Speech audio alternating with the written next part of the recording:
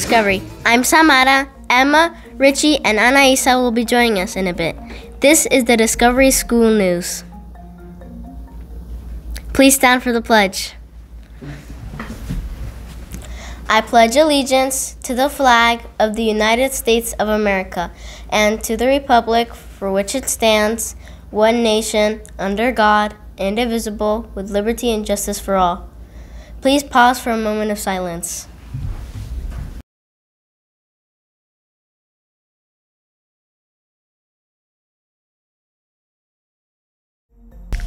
Here are the announcements for the week of the 23rd through the 27th, 2024. The Media Club will be meeting this week from 2:40 to 3:40. We will be preparing the announcements and scheduling for our next interview.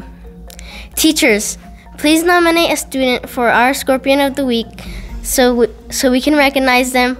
The robotics club will be meeting this Tuesday in room 808 from 2:40 to 3:40 and start building our new theme Submerged.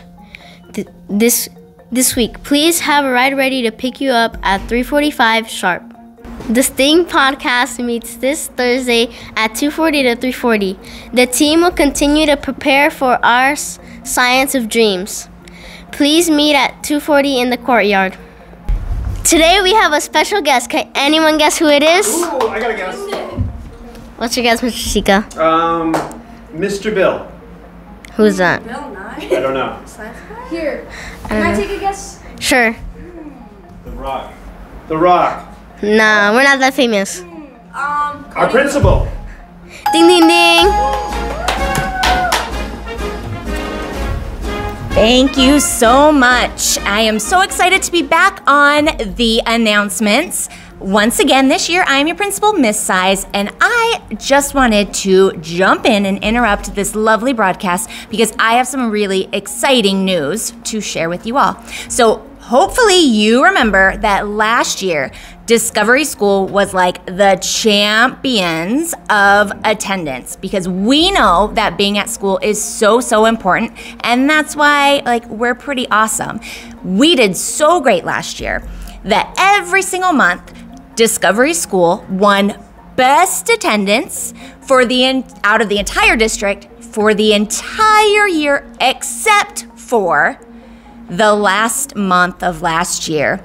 We did not win for the month of May. Horizon School beat us. They had better attendance that month, and we're very happy for them. But this is a new year, and we are in a new month. And guess what?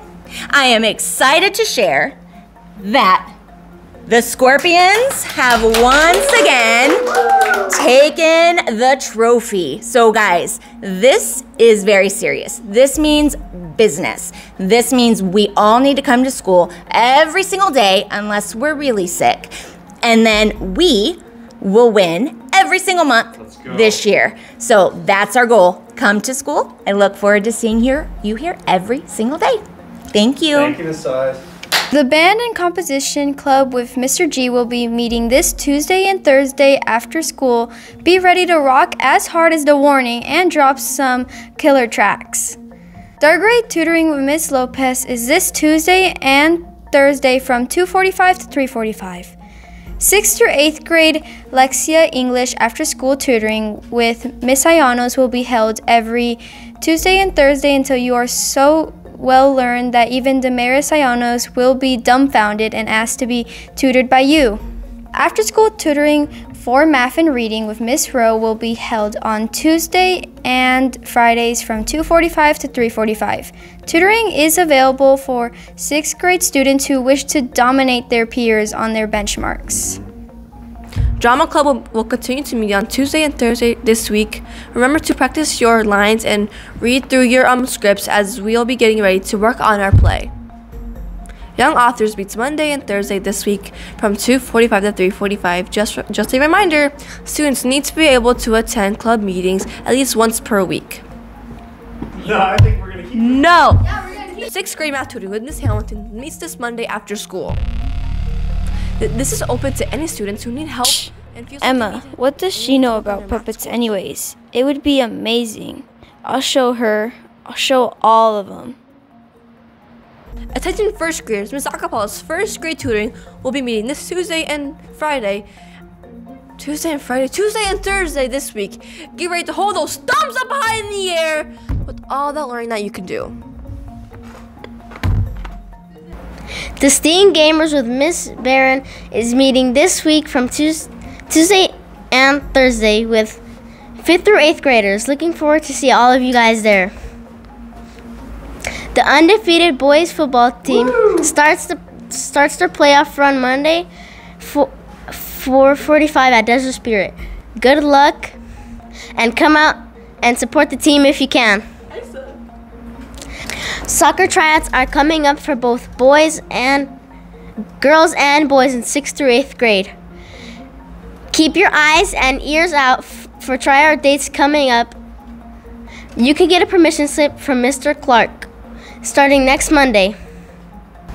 Student council will be will start selling smencils for one dollar at before and after school in the courtyard with the scorp- with the scorpion. So break open that piggy bank and start spending that hard-earned money to stimulate our lagging economy. It's time to play our guessing game titled Fact or Fiction. So we are going to give you three statements and you have to guess if they are fact or fiction. So make sure you guess loud out loud. It doesn't count if you don't. You big cheaters! Yeah, you cheater. Number one, fact or fiction. The longest game of Monopoly lasted for 30 days. Oh, 30 days. That's a long time. month. Fact. I'm gonna say, I'm gonna say fact as well. Well, this is unfortunately fiction. But here is a fact about Monopoly that you might not have known. In 1983, 350 underwater divers played a Monopoly tournament for uh, 1,080 hours, which is the same as 45 days. Number two, fact or fiction. The most famous board game is Clue. Fiction. Oh, I, that's pretty popular game. I'm gonna say fact. Fact. Fact? Okay. Well, you're wrong. This is fiction. The best selling board game of all time is chess. It has been one of the best board games to play around the world since it was first introduced in the 6th century in India. The total number of chess sets sold since the game's introduction is unknown, but more than 3 million sets are still sold yearly in the United States alone. And to finish out our board game related theme, number three, fact or fiction. The original game of life featured spaces for suicide, disgrace, poverty, and prison. What? oh my god, I'm hoping that's fiction. Well, sorry, Mr. Seco. This is fact! The original game of life was depressing. Really depressing. I need that one. when we think of the game of life, the candy colored 1950s and 60s versions comes to mind, featuring the glossy American dream of buying a house, piling kids in the car, and becoming a millionaire. But it wasn't always that way. The game of life is more than 150 years old, and its earlier versions were very, very different. The goal wasn't to be a millionaire, but simply to live a good life, and that included the risk of suffering some incredible, depressing consequences like suicide or poverty, sadly. Birthdays. Here are the birthdays of the week. On Monday, Geneva Begay Oka has her birthday. On Tuesday, our own Miss Estrada turns 25. Make sure you let her know how, how young she is. On Wednesday, Emily Laranaga celebrates her birthday. On Thursday, Anthony Sebastian Neri and Leilani Losa have birthdays. On Friday, our own Mrs. Nikki turns the big 3 0, and Miss Walton turns 21 years young. Also, Daniel Ont- Ontiveros Hernandez and Saying Family have birthdays. Happy birthday, everyone! For the Scorpions of the Week, Matthew got the chance to interview some of our, our Discovery cheerleaders for their outstanding work. Matthew?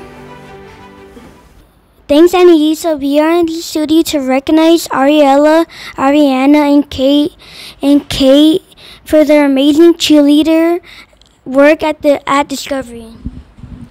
Thanks for the interview today, girls. Thanks for having us. We've been always impressed f- with with your team over the years. How do you you continue to be such organized and prepared team? we um we we we um we practice a lot and we stretch a lot and we also have to hit our moves so like we're not going all sloppy and everywhere and we make sure to remember our cheers so we don't have to sit out during any of our games when we're playing so we can also have have fun. What do you need to become a cheerleader here? Do you have to have a loud voice, be athletic, or know gymnastics?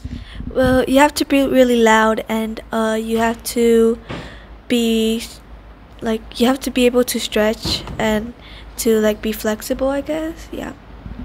Does anyone anyone know gymnastics here?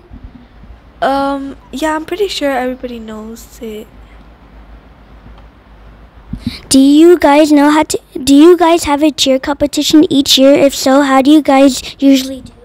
This is our second year. Last year we won, so we kind of want to keep our winning streak up by practicing a lot throughout the year. Thanks again, girls, and keep up the present work. Back to you in the studio. Nice interview, but that is unfortunately the last bit of the news for this week. Remember, we're Discovery. Where feel the sting, where the T stands for take responsibility. Have a great week. Why is it so bald? I thought I had an afro.